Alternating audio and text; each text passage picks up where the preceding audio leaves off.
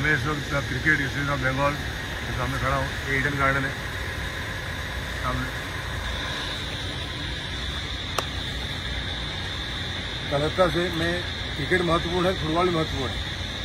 Cricket में मैं न जाने कितने खिलाड़ी दिए, और फुटबॉल में खिलाड़ी बहुत ज़्यादा दिए। बेहतरीन जगह। ये भी छोटा गार्डन है यहाँ पे सामने।